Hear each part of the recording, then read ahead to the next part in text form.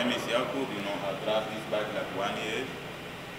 So, you know, I work in the uh, Central Park, you know, in the road, 42nd, you know, around 5th Avenue, 6th Avenue, everywhere, you know.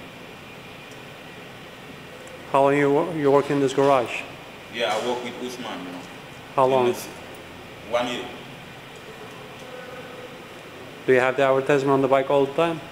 Yeah, Okay, thank you. yeah.